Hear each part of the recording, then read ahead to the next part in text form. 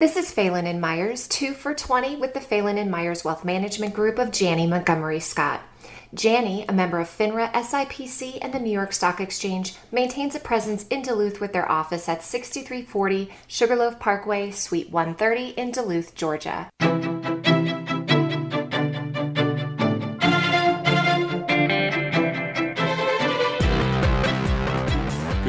Morning. This is Scott Phelan with uh, Phelan Myers Wealth Management Group. This is Phelan and Myers 2 for 20. I'm here with my always handsome business partner, Kevin Myers, and we are talking about. Get too crazy there.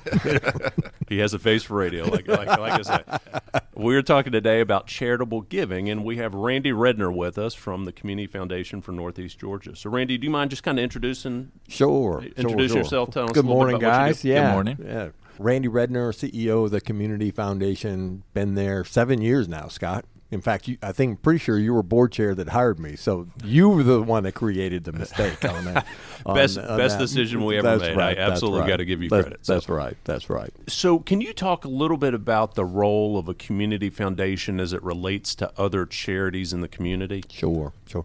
You know, community foundations, we are a 501c3. So there, you know, boom, we're, you know, right there with the other nonprofits in the community, but very different, very unique. There's only 800, 900 community foundations in the entire country.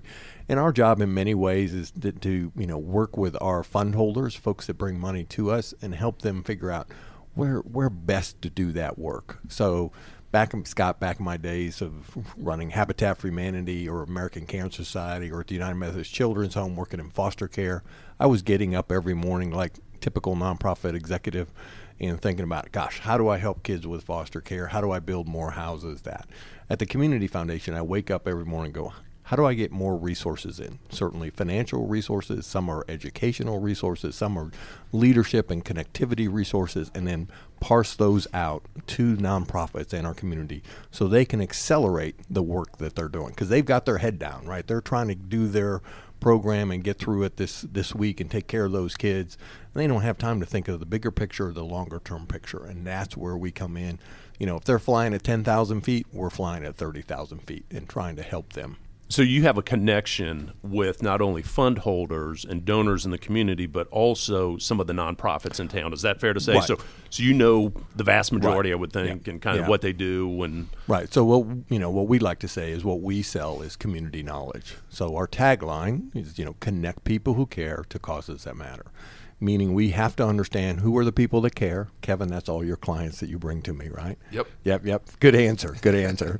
you know, and to the you know the causes that matter. We have to understand what are the nonprofits working on. What are, are the key issues in the community, and community can be gosh, it can be a little local city, it could be a neighborhood, it could be metro Atlanta, it can be the country, it can be what's going on in Ukraine at the moment. That is a community that needs help, and we need to be able to connect people who care to what's going on in Ukraine, and we are doing that right right now. So we have that community knowledge that our fund holders don't have time, right? Mm-hmm. They are running life, they're running their business, they're getting kids to soccer, they're trying to make church, they're trying to do everything that life takes them, but they want to go do something, you know, really, really great. And they've been blessed to be able to do that.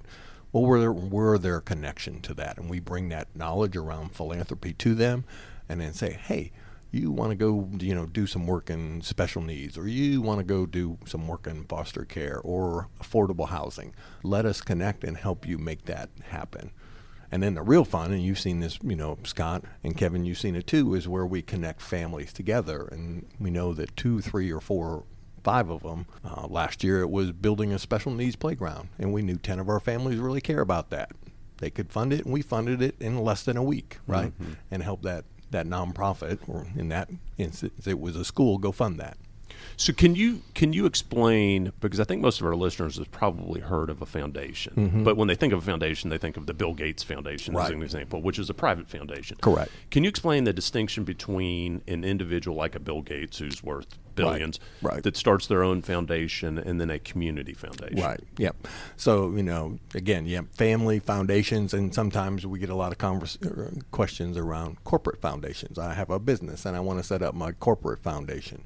Well, the good news is You know, to do each of those costs a lot of time and a lot of money to set those set those up, right? Then all of a sudden you're into filing taxes every year and doing audits, and you're into you're running a business, right?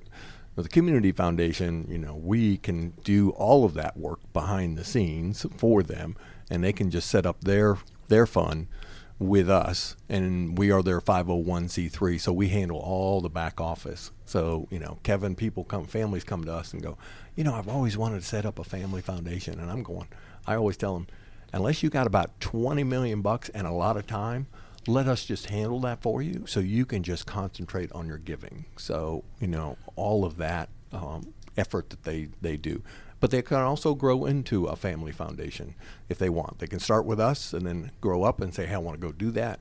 But the trend is actually the reverse. We're seeing a lot of family foundations that were set up in the 60s, 70s, and 80s, and they're going, I am tired of all the work. I just want to give my money away. I just want to go do good.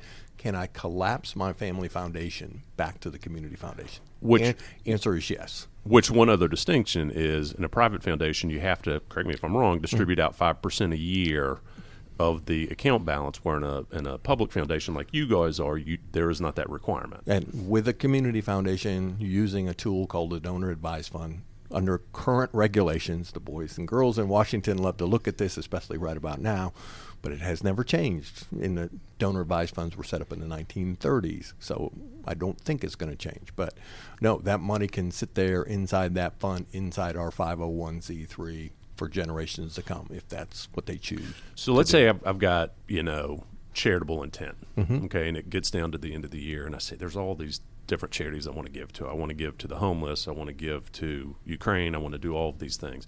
So I can give directly to a charity mm-hmm. or I can give to a foundation like you guys. Mm-hmm. What are the benefits of giving to a foundation versus giving directly to a charity? I mean, why would I want to be involved with the foundation versus just giving directly to my church as an example? Right. Yeah. So most of the time, a couple of things. One, you know, we're trying to combine all of your giving into one nice, easy place, right? So you're centralized in your giving, and there's one giving account. It's like your uh, charitable checkbook, right, as we often describe it. So it's all that giving, including we can handle your tithing to your church, all out of one nice, neat place. So it brings that all together, and it's all all of that. Two, we bring that knowledge that I talked about earlier to help you accelerate and, and do your giving with bigger impact. So we're going to make it easier and we're going to make it more impactful. While we hold your money at the community foundation and you get your tax write off the moment you put your money in so you get your tax write off right then boom that's good right? And then we're going to invest it for you. So you're making a little bit of money while it you know is sitting there so you've got that advantage to it as well and then one thing just mm-hmm. as an aside that i've also seen is, is if if somebody has a particularly good year in business, they may say, "Hey, I, I, really need some large tax deductions this year." Correct. So they'll make a large, maybe larger than typical charitable contribution because they get the full deduction this year. The money right. goes into their donor advised fund in this example, yeah. and then they have discretion to, right. to distribute it out at some unknown point down the road. Correct. Yeah, so yeah. and that strategy is called bunching, and we see that every year. You know, mm-hmm. especially uh, a lot of times you see it in the construction industry and in the families that we work with that run construction businesses, and you know that business kind of goes up and goes down. And when they have a good year, yep, they do exactly that. I'm going to put a bunch in there at one time, get my tax write off. I'm going to forward seed my giving for the next couple of years, and then I'm going to work with Randy and the team to make really good decisions on how that money is used in our community. Okay. And then can you hit a little bit more on donor advised funds and then what can be contributed into a donor advised fund, just kind of how they work? So sure. if I'm, again, I maybe I have a really good year and I say I, I want to you know, I need some large tax deductions. What's happens? Just can you walk me through that? Right. Yeah. So donor advised fund, great tool again that was created in the 1930s by actually the uh, New York Community Foundation was the big lobbyist that got that that done. So somebody can be a family or an individual can set up that fund with us. They can transfer, you know, bring us cash, put that in, they get their tax write off right then. Um, as you guys know, appreciated assets are really big for donor advised funds. They've been sitting on that Apple stock or that Tesla stock for you know a decade or more, so they don't want to pay any taxes on that appreciated assets. Uh, a lot of the advisors we look uh, work with will say, I never want you writing a check again. You know, the only way you're going to uh, make donations is out of your donor advised funds because every time you lose a tax advantage when you pull it out of your back pocket or write it out of your checkbook. But it can also be other assets, Scott. We work with folks that will donate property. We work with families that will donate a por- portion of their business, right? They're thinking about selling. It's time. You know, we've been at it for 30 years. We're tired of doing it, Kevin. You know, da da da. da. We're going to get rid of that top golf business or whatever they got into and created. And so they can donate a portion of that business, you know, to us as well. It can be cars, it can be boats, it can be racehorses. I don't care, right? You know, we will can take in that asset, convert it for you, put it into your donor advised fund, and off you go.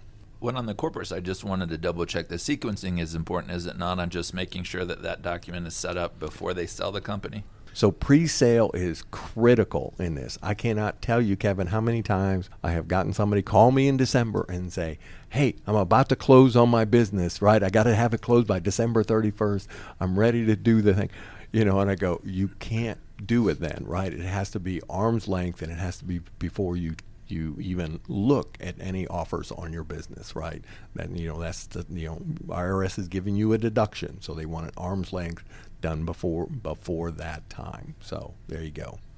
And then what about uh, required distributions, required minimum distributions for, for individuals that are 72 or older and have to take money out of a retirement account? How right. do those work? Yeah, so you know that's been a you know a great thing over the last couple of years, and I think that goes back. You guys check me on this. That was 2017 tax legislation that went in that created that opportunity for people to take RMDs and start to give them either directly to a um, a charity, right, and not have to, pay any of the gains on that because they just don't need that money, or they can uh, set it uh, set up an account at the community foundation, direct that RMD to us, and then we can work again over time on where to give that money away. But they don't then get binged on paying taxes on that money. And gosh, nowadays we got you know uh, that baby boomer generation that is turning older a lot of RMD money. They, you know, are in really good financial shape, and but they got to take it, right? You know, what do we do with it? And they don't so, want to pay taxes on it generally, correct. and it's a way to avoid yep. yeah, some yep. of the And they want to go do good, right. and they want you know to their church, to their you know whatever from from there. And so, absolutely, community foundations are a great place because again, you're not giving it right then and you're done with it.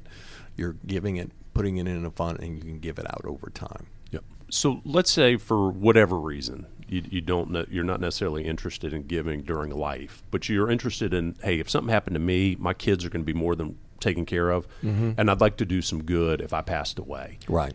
How does that work? You know, I think y'all call it legacy giving. Can you just kind of walk us through that? yeah, no, and uh, you know, again, because uh, the baby boom generation, and you know, and it's, it's uh, on one side, Scott, you know, one of our trends in America is give while you live, right? There's no, it's no longer the Rockefeller and Ford approach. People and families want to do it now, which is great. On the other side, there's the legacy side, you know, where they want to transfer the values with the valuables, right? And we we work with families in kind of three ways. Just had this call yesterday from um, some folks up in uh, North Georgia, and they're kind of walking through. And I said, at the end of the day, just to simplify it, three avenues, right? One, you can leave the money to the community foundation, and we have our own endowment, and we give money out of that endowment every year, and you can just put it in there, and you can just say, "You guys take care of it. I trust you, you know, in the future." Second, you can say, "Ah." You know, don't want to do that. I want to, you know, leave a legacy. I want to create an endowment upon my passing. Um, and give you guys some direction. Uh, for us, you know, often we talk about Mary and David Kistner, who 20 years ago, no children, created an endowment for the arts, very specific arts in Gwinnett County. Right. This could be you could set up for the arts for Metro Atlanta or the country or whatever, but you know, you leave us some direction. We get to know you, you know, your family before you pass away. We understand what's coming in the will. Uh, and that, and then you say, okay, I want to do, do this, and we continue to do that. And what other organization in perpetuity is going to watch that money and take care of that? And it was great last week we went and saw the new Mary Kistner Art Gallery at the Aurora Theater. 20 years later, that mm-hmm. was created for, for her. You know, and then finally we work with families that go, okay, we want to leave an endowment to you, because we don't trust the kids, right? You know, and, but but Randy, you know, you get to work with the kids, right? Good luck with that. But we're going to leave, you know, our endowment with you with some direction. But we want you to work with the next generation of our family around that giving uh, and what they want to do and how they. And some of them split it, Scott. But those are the basic three avenues. We can handle it for you. You tell us what to do Third, we'll work with your family into the future. And is there any type of investment that is uh, the best to leave upon somebody's passing from a tax perspective? Does it make any difference if it's life insurance or real estate or an IRA or anything like that? Is that? I think on that, you know, every family is unique and different, right? How much assets are you trying to convert in, in that? How much do they have in each of those buckets and kind of that? And we're not tax experts, right? We're going to, you know, lean on your tax experts, or we can bring them in and take a look at that and make the most tax efficient decision for you and your family. I got you. I think we talked a lot about the benefits. Are there any things that people should be aware of when they set one up once they donate the money? What kind of controls do they have? Can they receive any benefits from where the money goes? That kind of thing. Right. Well, look at you. Yeah, yeah, yeah, yeah, yeah. When we appreciate you and Amanda being, you know, fund holders at the community foundation. You've been through this drill, right? Yep. You know, so I get it. So, you know, one, it is a donor advised fund. You know, as moment you put that money into the community foundation and into your fund, you get your tax write off. So you cannot tell us what to do. That becomes an asset of the community foundation. You can advise us, right? Which means our board staff reviews it just to make sure it's a good nonprofit. All checks all those boxes, yep. and then our board approves that distribution. When you say, "Hey, I want to give five thousand dollars to the Salvation Army," and and stuff like stuff like that. So therefore, you've gotten a full tax deduction, Kevin. So when you call, like you do every week, and say, "Hey, I want to fund because I want to play some golf in this nonprofit," you know, da da da da, and uh, you can't do any sponsorships for golf tournaments or anything. You can't get any benefit back because you got a full write off going in, yep. right? So between you and Scott, you know, you call one week, Scott calls the next, and you guys go back and back and you know back and back and forth on that. Yeah, well, I think it's just good for people to know that um, the reason you get the immediate tax benefit is you truly are gifting the money at that point. You're just not necessarily deciding where you want it dispersed. Is Correct. That, that is exactly that is exactly right. But the, you know, the added value of a community foundation, and this is why we've grown three times over in the last five years, and this is why we think we're going to grow two times over, uh, especially coming through the pandemic. People really leaned on the community foundation, in, including other found, family foundations that said, "Hey, Randy, you and your team know best what's on the ground and what's needed.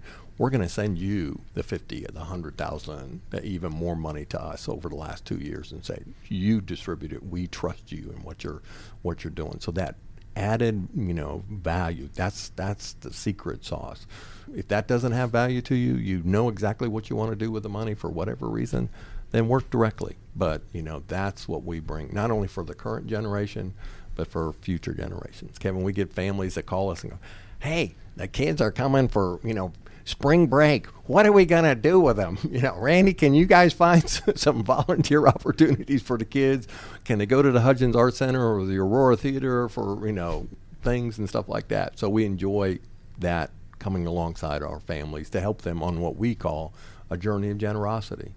And families will start at step one, which is a wanderer.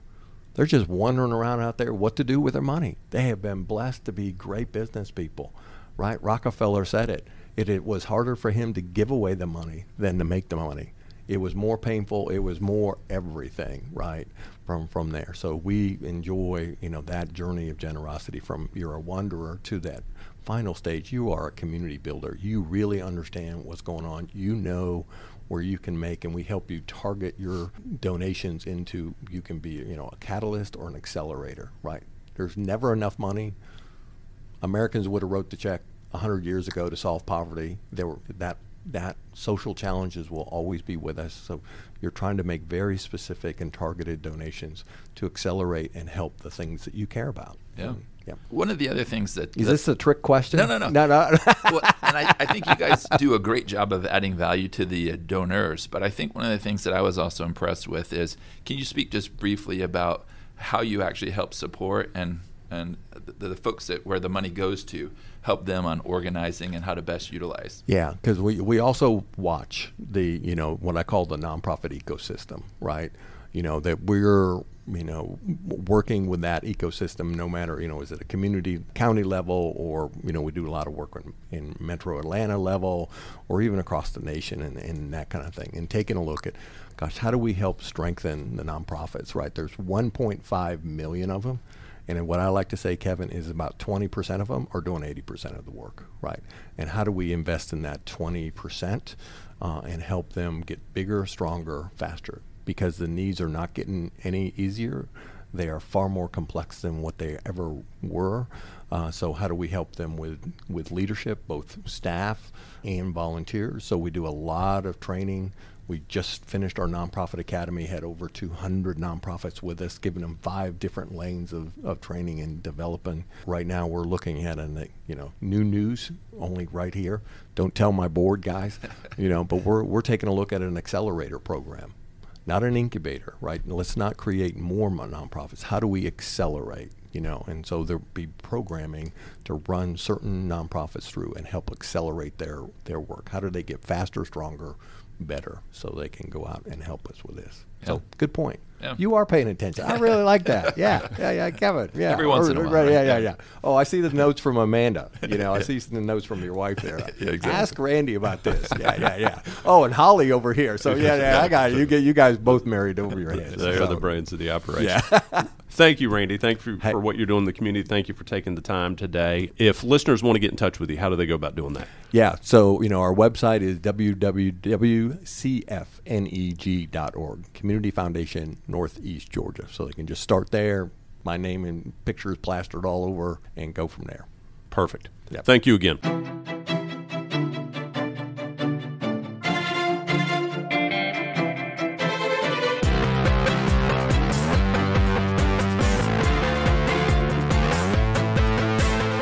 This is Phelan and Myers, 2 for 20 with the Phelan and Myers Wealth Management Group of Janney Montgomery Scott. Janney, a member of FINRA SIPC and the New York Stock Exchange, maintains a presence in Duluth with their office at 6340 Sugarloaf Parkway, Suite 130 in Duluth, Georgia. The information provided here is taken from sources which we believe to be reliable, but the accuracy and completeness of such information is not guaranteed by us. This is not an offer to sell or a solicitation of an offer to buy any securities. Opinions expressed are subject to change without notice and do not take into account the particular investment objectives, financial situation, or needs of individual investors. Employees of Janney Montgomery Scott LLC or its affiliates may at times release written or oral commentary, technical analysis, or trading strategies that differ from the opinions expressed here. Investing may involve market risk, including possible loss of principal. Janney Montgomery Scott LLC, its affiliates, and its employees are not in the business of providing tax, regulatory, accounting, or legal advice. Any tax related statements are not intended for and cannot be used or relied upon by any such taxpayer for the purpose of avoiding tax penalties. Any such taxpayer should seek advice based on the taxpayer's particular circumstances from an independent tax advisor. For more information about Janney, please see Janney's relationship summary form, Form CRS, on janney.com forward slash CRS, which details all material facts about the scope and terms of our relationship with you and any potential conflicts of interest.